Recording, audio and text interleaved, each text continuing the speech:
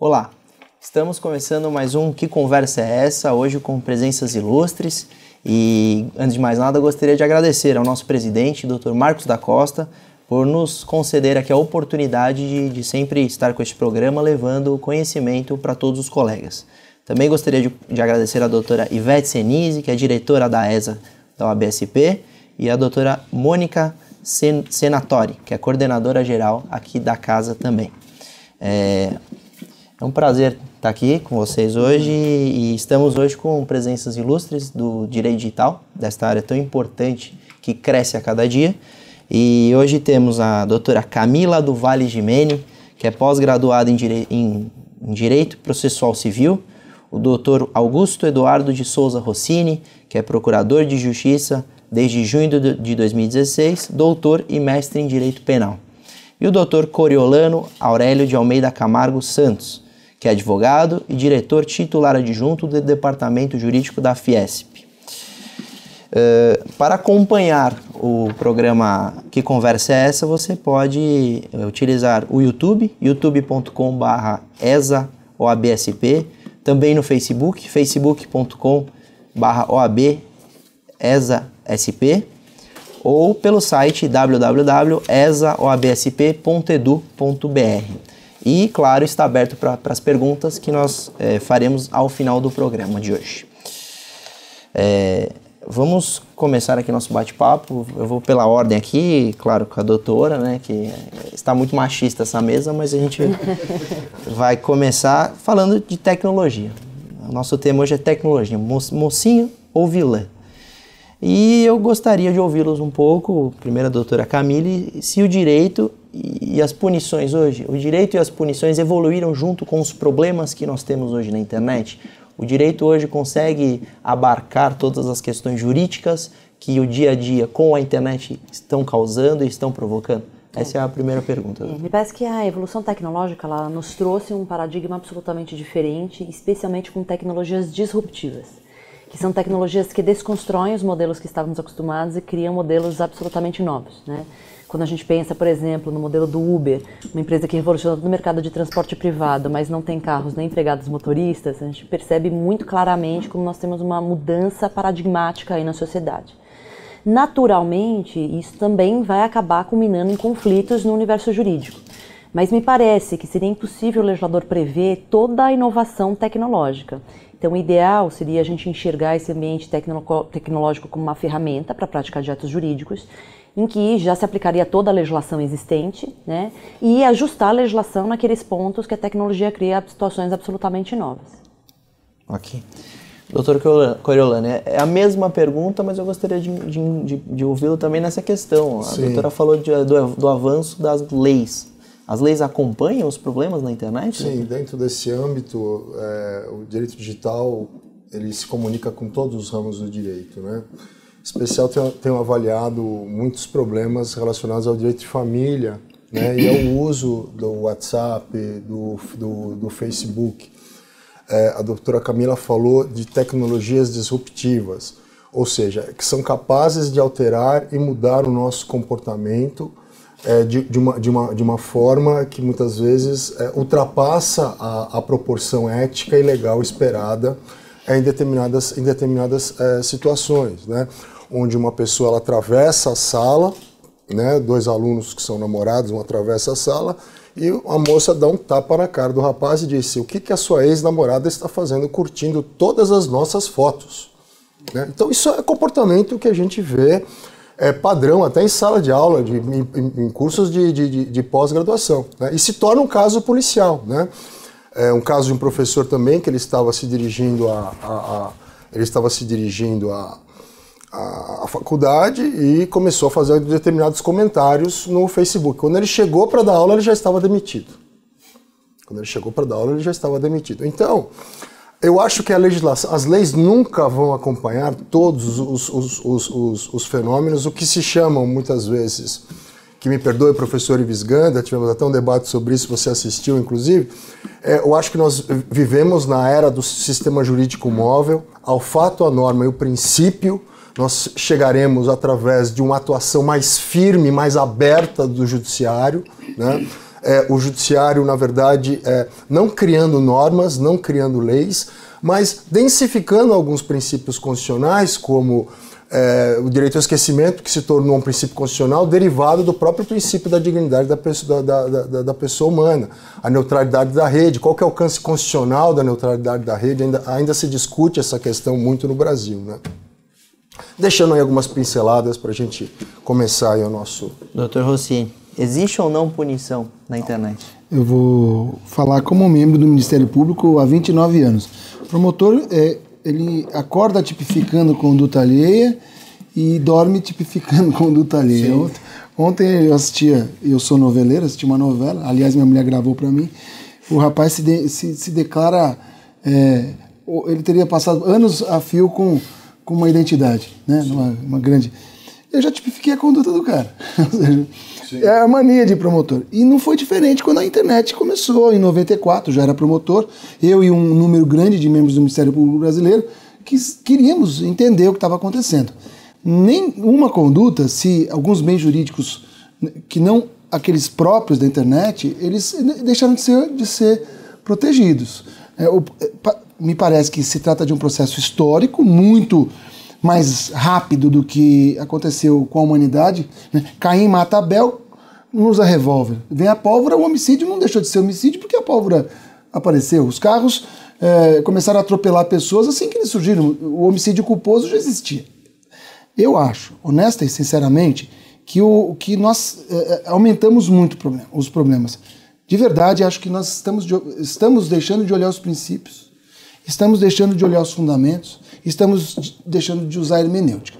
Nós queremos que a, a lei regule tudo, quando na verdade o sal da terra é o operador, né, o advogado, o promotor o juiz, o delegado, todos nós, que temos que, que, que fazer um esforço, esforço interpretativo né, para chegar a bom termo. É verdade que aqueles os crimes precisam de, de lei anterior que, que o defina, e há muito tempo, até num livro que eu publiquei, e o, o, o professor Opsi Blum prefaciou, falava das normas penais em branco. Né? Deixa a, a norma, o, prece, o preceito primário da norma fechado e deixa que normas, é, normas secundárias, portarias, etc., com, completem a norma penal. É assim com droga, é assim com tabelamento de preço, pode ser assim com as questões da internet, porque nós vamos ficar presos a, a, a, ao movimento da tecnologia. Acho que sim.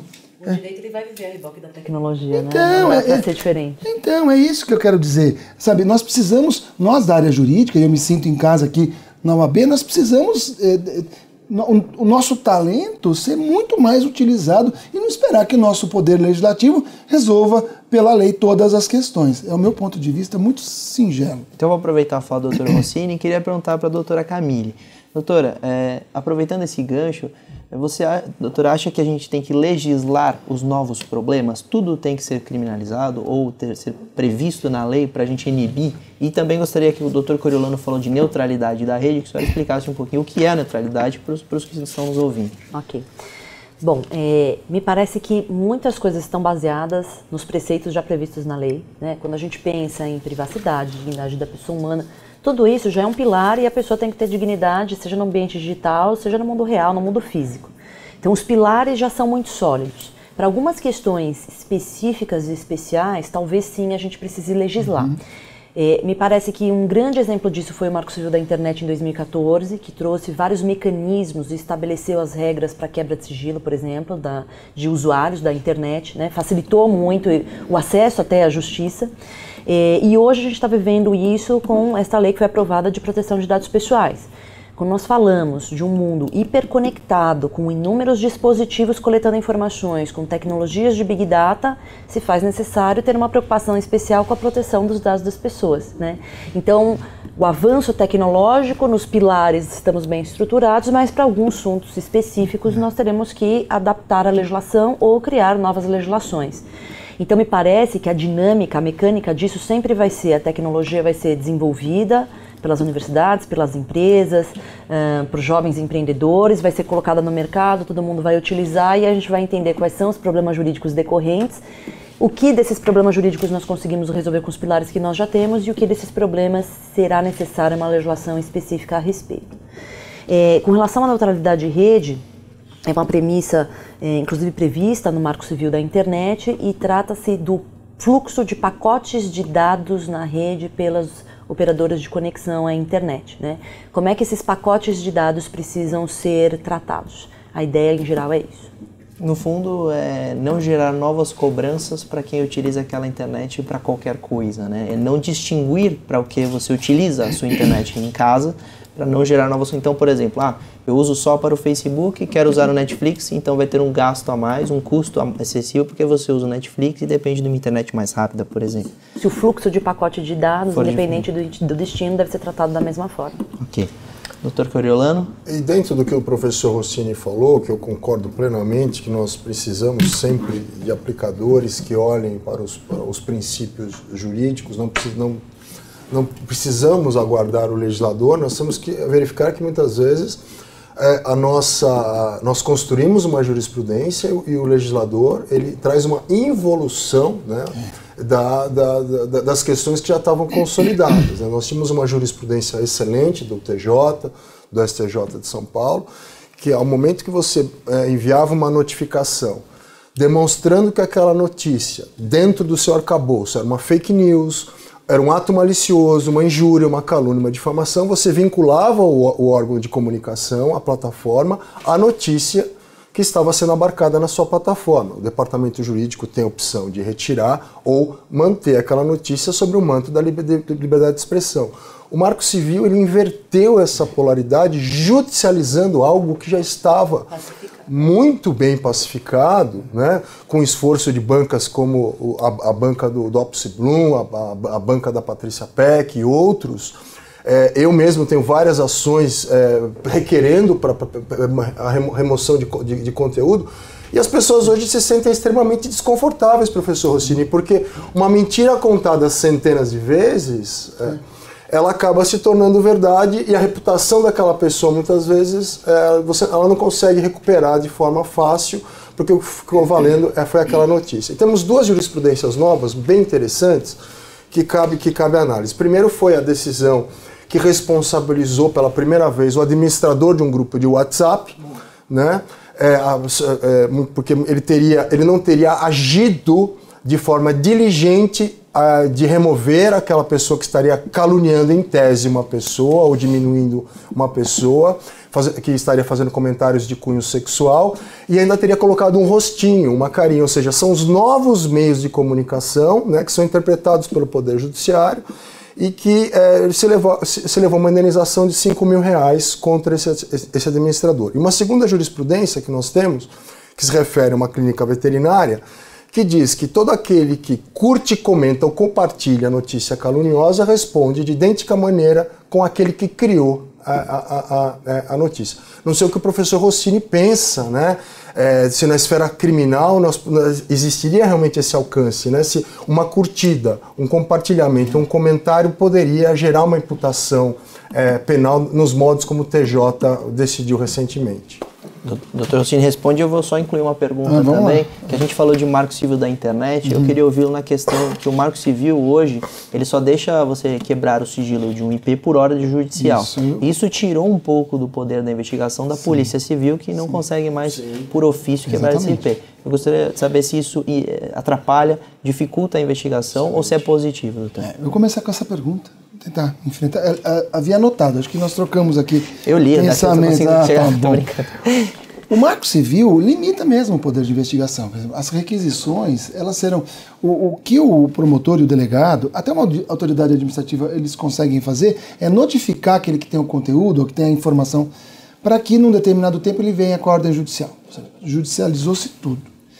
Mas o mesmo legislativo, na mesma legislatura, em é, um momento muito próximo, também criou a lei das organizações criminosas e permitiu que o promotor ou o delegado pudessem fazer as requisições diretas. Então aí eu não entendo eh, as, as comissões eh, do Congresso Nacional na medida em que, no mesmo te ao mesmo tempo, eles emitem comandos absolutamente antagônicos e, e diferentes. Atrapalhou? Evidentemente que atrapalhou, porque, enfim, a perenidade da informação, a gente sabe que internet é, é volátil. Isso tudo demanda, demanda muito, muito trabalho. Né? Outra coisa, monitoração e monitoramento. Termos que o mesmo legislativo, na mesma legislatura, usaram. Um para mudar o Código de Processo Penal, outro o Código de Processo, é, a Lei de Execução Penal. E nós temos duas leis, só para enfrentar a questão da segurança jurídica. O marco, a Lei de Acesso à Informação, é, é, ela conceitua, acho que no artigo 3 ou 4 um rol enorme, documento. E, né? e o Marco Civil da Internet, ele no artigo 5 também traz um rol enorme de conceitos, coisa que era tradicionalmente definida para a doutrina. Né? A doutrina, o, o, legislador nunca definiu o conceito, a não ser um ou outro, o artigo 327 do Código Penal, que, que, que, que tipificavam, que, que, que especificava o que era funcionário público. Quero dizer o seguinte. É, tá todo mundo querendo resolver o problema de um jeito que me parece assodado e temerário. Porque as coisas vão sendo feitas e vão atrapalhando, como o coreano disse, é, e no caso da investigação, para ser objetivo com que, com que você me perguntou, sim, os promotores, os policiais, a Polícia Federal, as polícias civis, elas estão assim, manietadas. Notadamente naqueles casos em que a honra íntima, a honra subjetiva, ela é, ela é ofendida. Por quê? Porque na maioria das vezes nem a polícia pode trabalhar, porque as ações penais são públicas, ou melhor, são ou públicas condicionadas ou ações penais privadas. E aí fica essa, essa questão é, é, é, ao sabor das, das vinditas, da própria vingança. Coisa muito comum na internet. Sim. Muito comum. As pessoas estão fazendo justiça, aspas, com as próprias mãos, porque são ofendidas, replicam e fica aquela briga porque o Estado não intervém. E não tem ferramenta para fazer isso de uma maneira ágil, como era o caso, por exemplo, da, daquele, nas ações penais privadas, aquela audiência, aquela notificação para que o querelado, ainda não querelado, não, pedido de explicações. Não tem um pedido de explicação digital, coisa que resolveria em boa parte isso. E ninguém pensou num pedido de explicação digital. Né? Mas enfim, eu acho que essas considerações eu quero fazer, porque todo mundo, todo mundo quer tratar do assunto, todo mundo quer dar pitaco, quando na verdade a gente tem que pegar aquilo que historicamente né, a gente já construiu, demorou muito para construir, e não estamos usando. Né? Aliás, o artigo 6 da lei do Marco Civil Regulatório, ele traz inclusive uma sugestão de interpretação nova é a nova hermenêutica digital. Eu, eu não sei, eu, eu, não, eu tenho lido isso, tenho falado sobre isso, eu não consigo entender o que o legislador quis. Ou seja, nós temos que interpretar diferente porque é a internet? Os seres humanos são diferentes na internet? Não, é, é uma questão polêmica que nós vamos enfrentar. Ok. É, quando nós tratamos da, da, da direito digital e da, das questões na internet, nós como todos os convidados aqui, falam que a gente tem que afastar da justiça, a gente não tem que é. legislar em tudo. E eu tá penso, e o tema que eu vou trazer aqui agora, é que talvez a educação digital seja a solução. Então, nós tivemos recentemente a notícia da menina que colocou fogo no próprio corpo, sua mãe a salvou, que ela tinha visto um vídeo, é o desafio do fogo, que você tem que jogar álcool no fogo da colega e colocar fogo. E isso vem pela internet, induz jovens a quase cometerem o suicídio, e, e, falta aquela educação digital tão falada. E, e eu gostaria de ouvi-los na questão da falta da educação digital para a gente afastar o problema do judiciário. O Marco Civil da Internet ele traz até previsões que o poder público deveria uh, estimular e adotar medidas para educar a população a respeito do uso consciente e seguro e legítimo da internet. A gente também tem uma legislação que trata de um programa de combate ao bullying e ao cyberbullying no Brasil, uh, prevendo que as escolas uh, e as associações recreativas precisam uh, expor, é, é, conscientizar a criança e o adolescente a respeito desses assuntos, então as escolas também teriam essa obrigação legal. Mas me parece que o cerne desse problema é que nós vivemos ainda numa geração de analógicos digitais e, e nativos digitais. Né? É, Para aqueles que vieram de antes da década de 80, é, como eu, por exemplo, a nossa criação não tratou em nenhum momento de nenhuma responsabilidade ou uso legítimo de tecnologia, simplesmente porque não existia. E agora a gente tem uma geração que nasce já conectada. Não é difícil uh, a gente ver aí nas redes sociais fotos de bebês que acabaram de ser gerados, né? A criança acabou de ser parida, está com um cordãozinho umbilical no pescoço e já tem uma foto no WhatsApp, no Facebook, por aí. É, essas crianças vêm usando tecnologia massivamente, mas não tem qualquer orientação dos pais, porque também não foram orientados a respeito. Então, o que a gente percebe é que esses conflitos acabam chegando no universo jurídico, porque as pessoas não estão preparadas sobre como usar isso de forma legítima, né?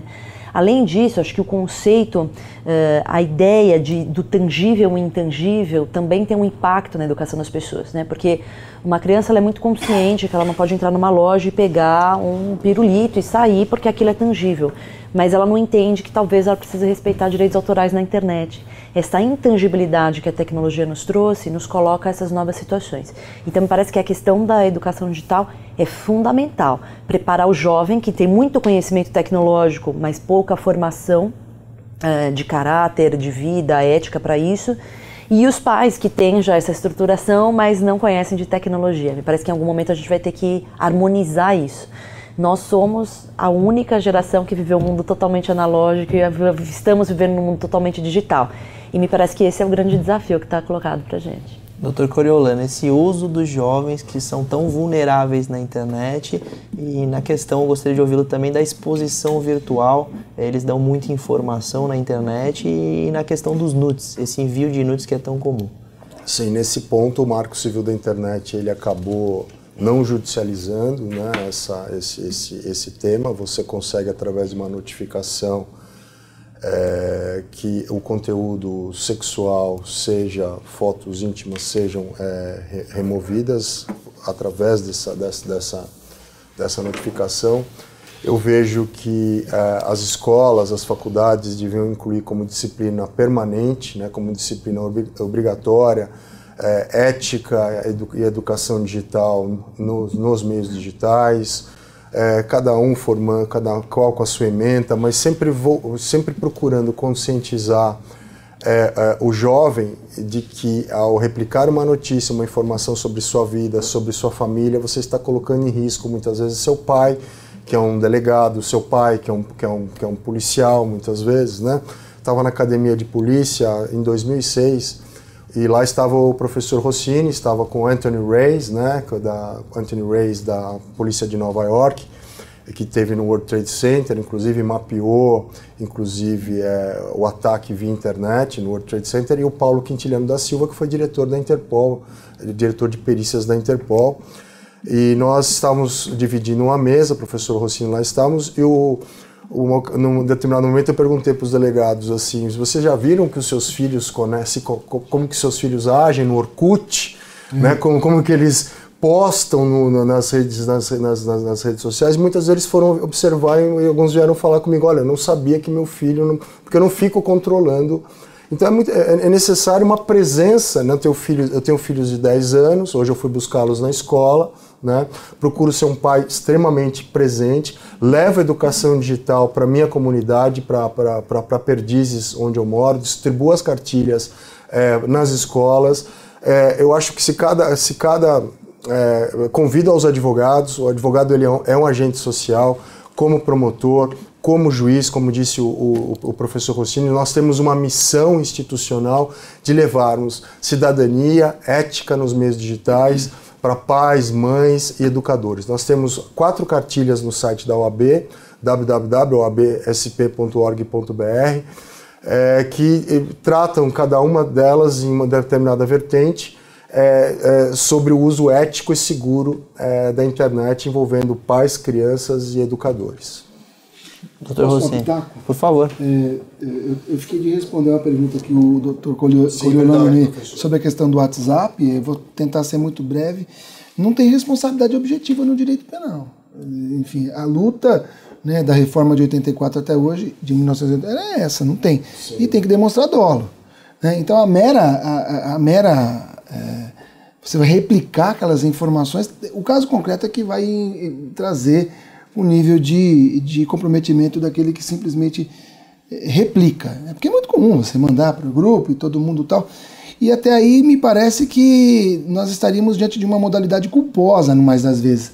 Né? E não tem figura culposa. Então não consigo, assim, longe, eu não conheço o caso concreto do TJ, mas enfim, a gente tem que ter muita cautela, porque é, é, é, uma, é peculiar esse agir, não sei. E o que a, a tendência, em termos de direito penal, é você eh, trazer pela regra do artigo 13 a relevância penal da omissão. Se ao criar um grupo de WhatsApp ou é, o, aquele que organiza, o, o, administrador. o, administrador. assina um contrato de adesão com, com o provedor, dizendo que ele é responsável por, por aquilo e, e, ao não fazer ele, ele ao se omitir, ele, ele teria responsabilidade. E aí sim tem aquela regra do, do nexo causal do artigo 13, parágrafo 2 e, e respectivos é, inciso segundo e, suas alíneas todas, porque daí ele fica como garantidor. E aí sim, para direito penal, mas depende do caso concreto. Em linhas gerais, você tem como trazer isso. Né? Eu queria falar da educação digital muito rapidamente, porque assim, vocês, advogados, vocês normalmente é, tratam daqueles assuntos ligados a, direito, a contrato, a família e etc. E nós, do Ministério Público, somos os, e a polícia em geral, né, o, pessoal do, do Estado, nós recebemos as grandes vítimas das fraudes.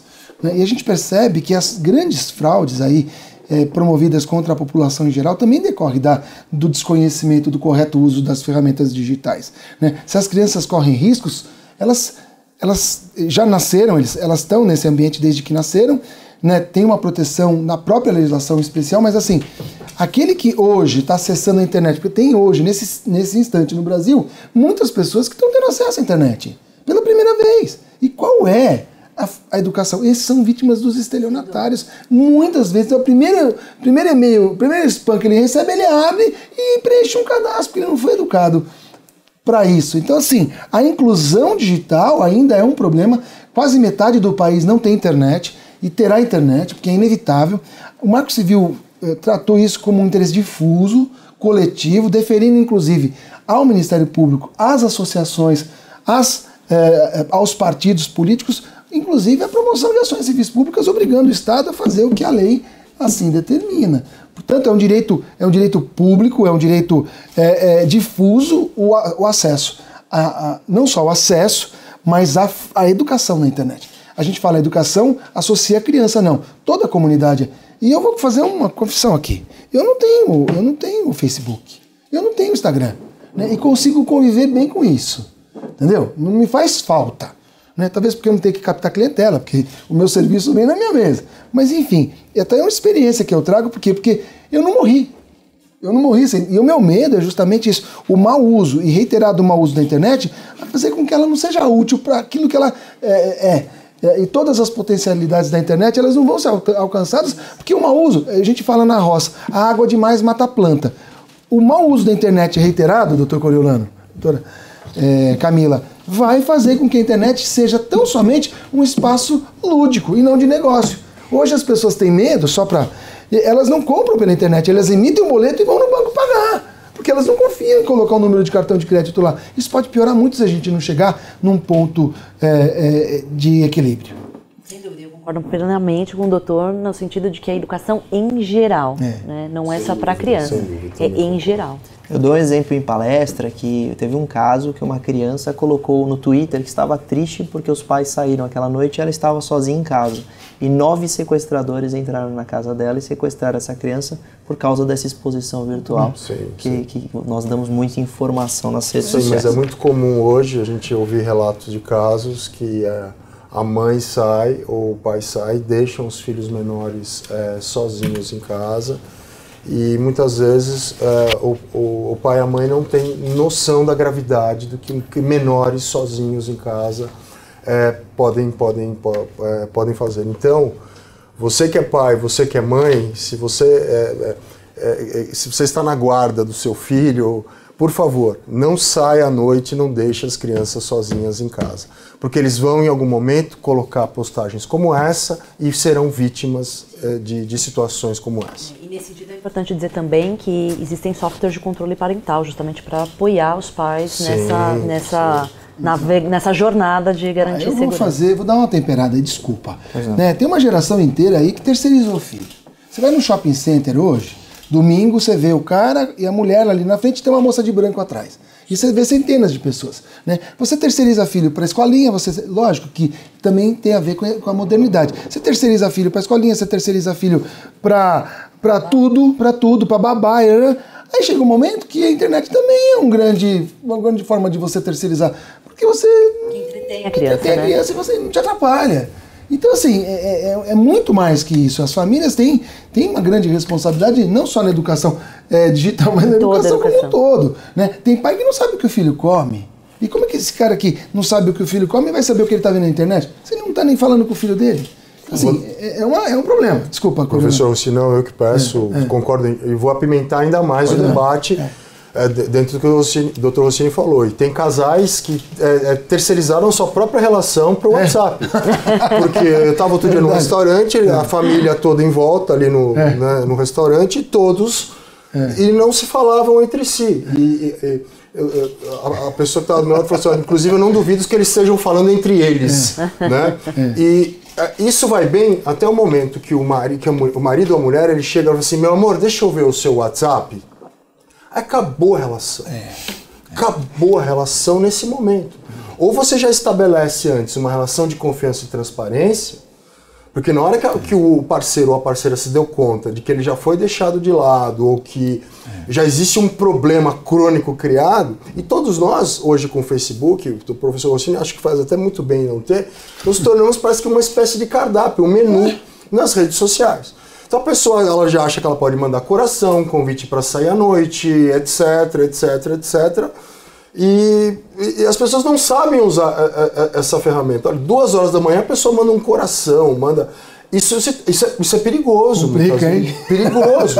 Porque o marido tá ali do lado e vai acordar, meu bem, o que, que foi esse plim-plim aí no seu celular essa hora da noite? Vai ver. E muitas vezes a pessoa não deu essa liberdade para outro, só, só deu seu número de telefone, às vezes, para um contato é, é, é é, comercial. Né? Então, é, a, a, ferramenta se tornou muito perigosa para as relações familiares, para as crianças, no ambiente corporativo, né? porque você está sendo monitorado no ambiente corporativo, ela, casada da área de compras, namora com ele, casado da área de vendas.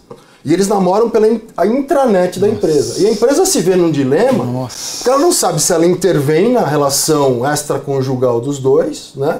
ou se obedece o princípio da, da, da, privacidade e intimidade constitucional, que é o que eu sempre oriento os clientes, falo, não, não entrem nessa seara se tiver que. E, e, e, veja a curva de produtividade dos dois. A curva de produtividade, quando eles começam esse namoro, é excelente. Porque eles vêm super bem vestidos, eles. O amor renova as pessoas. A gente tem que entender isso. Né? É uma brincadeira, mas é uma lógica da vida, né? Apimentando um pouco mais a discussão do professor Rossi. É, mas eu acho que a gente também não pode deixar de esquecer a quantidade de benefícios que não, a tecnologia sem traz. Foi isso que eu falei. Né? É, hoje a gente tem um volume de acesso à informação que na década de 40, um homem que nascia e morria aos 60 anos, tudo que ele aprendeu durante a vida inteira, hoje é o que tem de informação na internet em uma semana né, uma possibilidade de acesso à informação, uh, disseminação de conhecimento, para fins de medicina, talvez hoje a gente saiba que mais pessoas morrem de câncer porque a gente tem um diagnóstico muito mais preciso. No campo da educação, estudos que mostram que o professor usando recursos de tecnologia ajuda a fixar melhor conhecimento nos alunos. Então, as, as, os, as benesses são enormes, mas nós não podemos esquecer dos problemas porque nós aqui nessa banca todos lidamos com os problemas. É, né? verdade. Inclusive hoje o nosso programa está sendo transmitido pela internet. Exatamente. E pegando aqui um gancho no que o Dr. Coriolano falou, eu queria ouvi-los um pouco. Ele falou dessa relação dentro da empresa. É, quando nós falamos um pouco de compliance e a questão do compliance digital, na opinião dos doutores é, e da doutora, nós deveríamos educar os funcionários e apresentar um, um código de conduta, como Sim. utilizar a internet dentro da empresa ou não? Sim. É, infelizmente, a reforma trabalhista trouxe a questão do teletrabalho, né, aquele tipo de trabalho que é feito remotamente com o uso de recursos de tecnologia da informação e da comunicação, mas não tratou dos pontos essenciais que deveriam ser tratados. Quais são esses pontos? Primeiro, até que ponto a empresa pode fazer controle dos recursos tecnológicos sem violar a privacidade daquele trabalhador? Segundo, como devem ser as regras da empresa a respeito disso? Né? É, hoje, a gente baseia todo esse entendimento numa interpretação de princípios legais gerais, como dignidade, privacidade, poder diretivo do empregador, responsabilidade da empresa pelos atos do empregado, é, e via de regra, estamos olhando para o posicionamento jurisprudencial cujo entendimento é: esses controles podem existir desde que ausente a expectativa de privacidade, portanto, as pessoas precisam ser informadas, os trabalhadores precisam ser informados a respeito desse controle. E o que é particular, mesmo que acessado no ambiente corporativo, a empresa não poderia ter acesso. Né? Então, se a gente vai falando que é muito comum hoje um WhatsApp web dentro de uma ferramenta corporativa, então a empresa não poderia ver porque não seria uma ferramenta de trabalho.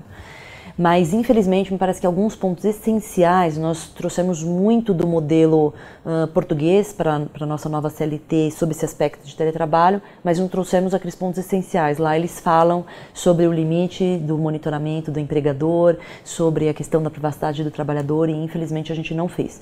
Agora, via de regra, a, a ideia é que as empresas uh, criem nesta governança uh, de segurança da informação, estabeleçam dentro do código de ética e conduta uma previsão específica para os recursos tecnológicos, né, prevendo que não podem ser utilizados para fins ilícitos, que são ferramentas de trabalho, devem ser utilizados só para essa finalidade, é, e detalhar isso em políticas de segurança da informação. Então é necessária uma governança dentro das empresas a respeito disso, mas o que eu tenho visto hoje no mercado é um mercado muito maduro em relação a isso. Né? Inclusive, poder público, muitos já têm é, diretivas a respeito desse assunto. Esse caso que a professora Camila tratou bem interessante, é, acompanhei um caso em que o, um grupo novo de trabalhadores entrou, assinou todos esses termos que a professora Camila mencionou, que os recursos deviam ser éticos, que não pode acessar o Facebook no horário de trabalho, etc. Aí esse grupo, ele, eles, eles olhavam para as mesas laterais, né, nessa empresa multinacional, e falavam, mas por que, que você está acessando? Não, porque você dá ali Alt Ctrl Del, você acessa. O nosso, nosso, nosso time mais antigo aqui já acessa. E os mais novos começaram a acessar também. Né? É, demitidos, os mais novos foram, foram a juízo e o juiz perguntou: mas o que, o que, que vale para vocês? É a regra de fato ou a regra de direito? Porque para alguns vocês permitiam, para outros não. Aí o juiz perguntou: vocês davam treinamento? Vocês, vocês dão algum tipo?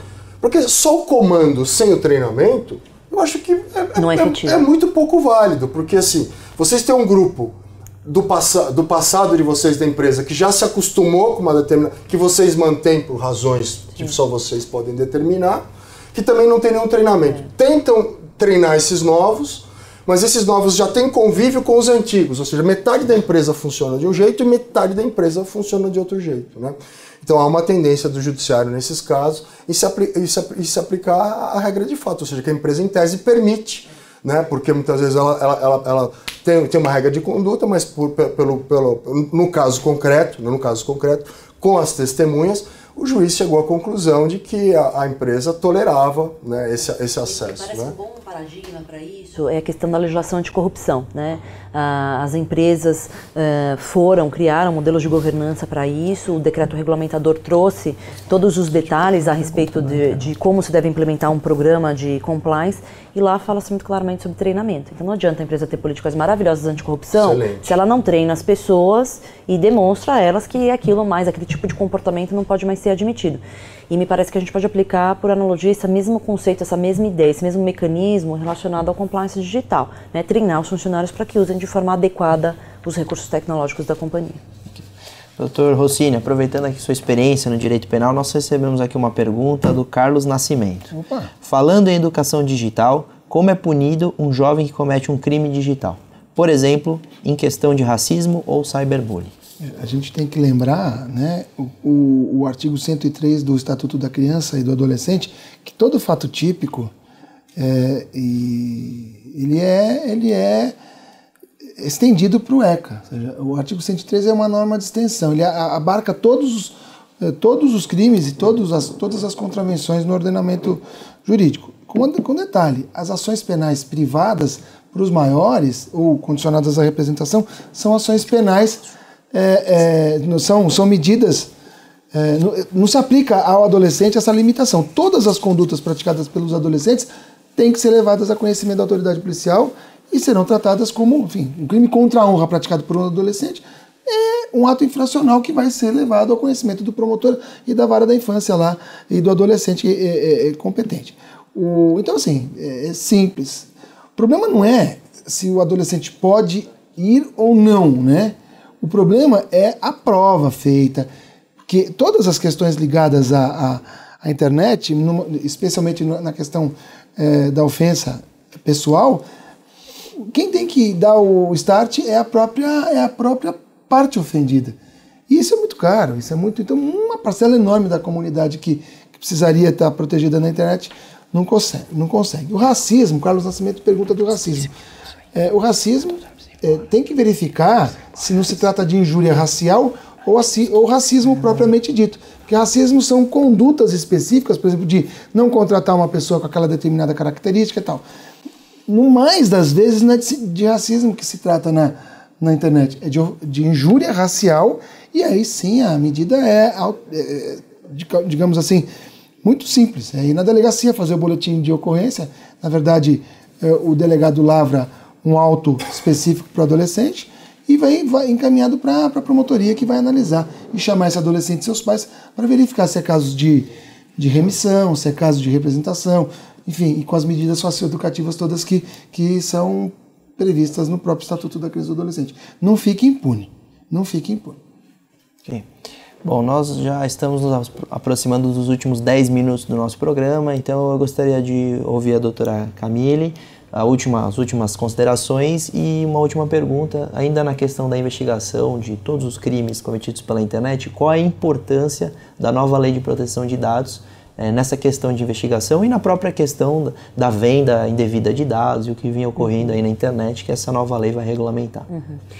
É, eu acho que é importante a gente pensar que esses impactos da tecnologia, inclusive, trouxeram a necessidade de uma nova interpretação da legislação que a gente já tem.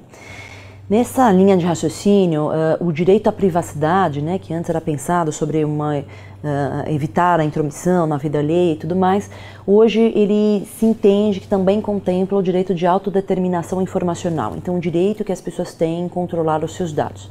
A grande cultura que nós vivemos na sociedade de hoje é um compartilhamento exacerbado dos dados, né, sem absolutamente nenhum controle por meio de aplicativos de tecnologia em situações até mais singelas. Aqui no Brasil é muito comum você ir a uma padaria e preencher um formulário para ganhar um refrigerante gratuito sem se dar conta que os seus dados podem ser monetizados para outras finalidades e você sofreu o impacto de decisões automatizadas tomadas pela tecnologia por conta de todos esses dados que foram utilizados. É, então, nesse aspecto, é muito positiva essa Lei Geral de Proteção de Dados Pessoais. Ela reproduz o sistema europeu, né? lá eles têm o GDPR, que é uma legislação nova, mas eles já vinham há 20 anos pensando a respeito desse assunto, já tinham diretiva a respeito disso. É, 90% da nossa legislação brasileira promulgada agora no dia 14 refletem é, essas previsões e a ideia é que haja um controle, uma limitação em cima disso, né, na coleta, no tratamento desses dados, e mais do que isso, empoderar o titular dos dados para que ele realmente se conscientize do cuidado com as suas informações. Então, me parece que realmente é uma legislação muito positiva. Agora a gente vai ter que desbravar aí todo um novo cenário da interpretação, da regulamentação, da criação de uma agência reguladora. É, eu gostaria de finalizar agradecendo muito o convite. Foi uma honra estar numa banca aqui com os doutores uh, tão, tão respeitados também na área. Foi uma honra vir falar com você hoje, né? Nós já trabalhamos juntos, já tivemos o prazer de trabalhar juntos. Fiquei muito feliz de nos, nos encontrarmos novamente. E eu gostaria de deixar aqui o registro que aqui na ESA eu coordeno um curso de Direito Digital, um curso prático de Direito Digital. E agora no segundo semestre nós teremos novas turmas abertas. Então, para quem tiver interesse também, consulte o site da ESA. Muito em breve a gente já terá a programação do curso. Muito obrigada. Queria agradecer aqui a presença da doutora Camila. Eu tive o prazer e a honra de trabalhar com a doutora quando era estagiário, sempre aprendendo com a doutora. É, doutor Coriolano, antes das suas considerações finais, é, gostaria de agradecer aqui a mensagem da nossa internauta Luana Lucena, que parabeniza a banca, e o Vicente Miguel faz a seguinte consideração, eu gostaria que o senhor complementasse aqui. A tecnologia não é mocinha ou vilã, nós é que não estamos prontos para usar adequadamente. E também ouvi o doutor nesta questão das redes sociais controlarem tudo que a gente curte, compartilha e direcionar fake news ou vendas, qualquer informação, sabendo do que a gente quer receber e o que a gente gosta de fazer na internet, doutor Coriolan. Sem dúvida. A, a, a, linha de raciocínio do colega é bem, é, é bem dentro daquilo que eu, eu penso a tecnologia ela veio com a promessa de eh, nos trazer mais tempo. Hoje nós temos muito menos tempo em função da, da, da tecnologia. A tecnologia ela veio é, com a, a, promessa de que traria avanços é, na medicina e de fato cumpriu. Né? Hoje nós temos a, a, telemedicina, temos a inteligência artificial já ajudando os profissionais é, nos, nos, nos seus é, diagnósticos. É, dentro da, dessa, dessa, dessa, dessa perspectiva, eu vejo que cada vez mais o judiciário tem que olhar para uma aplicação principiológica das, das, das questões é, relacionadas ao direito e tecnologia, é, para que nós possamos alcançar, trazer, a, a, a, aproximar o direito da ética, o direito da, da moral, que o direito seja visto cada vez mais como uma ferramenta para que nós possamos é, alcançar é, o ideal de justiça. Falando em ideal de justiça, me lembrei de Ehring, quando ele diz que o operador do direito ele não deve lutar pelo miserável objeto do litígio, mas sim por um fim ideal de paz, amor, equilíbrio, principalmente pela afirmação da sua própria pessoa e do seu sentimento de justiça. Foi uma honra estar aqui realmente nessa banca com meu professor no mestrado, o professor Rossini, uma pessoa que eu admiro já há muitos anos, a que eu sempre aprendo quando estou, quando estou com ele. Agradecer ao, ao Luiz, professor Luiz Augusto, Luiz Augusto, jovem, brilhante advogado, e a Camila que esteve aqui. Foi realmente é, é, marcante para mim voltar à ESA nesse dia. É, junto com essa mesa tão, tão, tão diferente, tão particular. Obrigado, doutor Coriolano. É sempre um prazer e uma honra estar em tudo. Com o senhor, eu falo, o senhor é meu chefe, o que você mandar eu fazer, a gente faz. Tamo junto. Doutor Rossini, é, como palavra final, eu tenho duas perguntas. Uhum. Na questão criminal, nós estávamos falando dos cybercrimes e da punição. Sim. O aumento de pena para os crimes cometidos pela internet é uma solução? porque nós vemos que talvez esses crimes tenham um potencial maior, de, até na questão dos crimes contra a honra, por exemplo. Então, a solução é o aumento de pena, em geral. E o senhor falou na questão do, dos termos de uso. Aquele indivíduo que é administrador do grupo do WhatsApp, ele está sujeito as sanções porque ele aceitou esse termo. Mas esse termo é imposto. Ele é, para utilizar, ele tem que ele tem que aceitar em uma negociação. É. Então, isto gera uma uma responsabilidade ou não? É, e eu gostaria das considerações finais também do doutor. O, o, a gente sempre pensa em aumento de pena como uma solução, né? Por isso que há quem diga que o direito penal né, ele, eles transformaria numa panaceia em razão disso. O sistema já de aplicação de leis ele tem uma, uma, capacidade, porque se o juiz quiser hoje, sem nenhuma causa de aumento especial de pena, mas se ele olhar o artigo 59, que trata das circunstâncias judiciais, e enumerá-las todas, uma a uma, as consequências do crime, por exemplo, elas são difusas. Então o juiz pode partir já da pena, ao fixar a pena base, daquela, aquele sistema trifásico do artigo 68, ele já pode partir de uma pena base bastante exacerbada dentro do que já, já existe. Né? O, a questão é o juiz, né, o, o, quem estiver ali litigando, argumentar em cima disso. Não esperar que o legislativo venha e, e, e mude a lei, aumente a lei, a, a, pena, até porque a gente sabe hoje que os regimes de pena, cadeia mesmo, regime fechado, ou é por reincidente ou para quem tem 8, mais de oito anos de, de, de cadeia. O que eu acho para ter punição para aquelas pessoas que são, são vítimas de crimes contra a honra na internet é deixar de ser ação penal privada e passar a ser ação penal condicionada à representação, pública condicionada à representação né? Porque é oneroso uma pessoa que teve uma ofensa um tanto quanto menor, de menor monta, é, ter que longe de querer prejudicar o trabalho dos advogados, mas é muito custoso, é muito oneroso e não tem como investigar, porque as ações penais privadas, muitas são poucas as vezes que as pessoas conseguem ter o amparo do Estado na própria investigação. Então a gente tem que mudar, pensar numa aplicação mais rigorosa da lei que já, já aí está e também é, mudar a natureza da ação penal caberia uma, uma, uma causa de aumento de pena sim, uma agravante genérica do artigo 61. Caberia. Isso já tinha sido previsto na comissão de juristas eh, eh, do Senado, que tentou alterar. Então é uma coisa para se pensar para o futuro.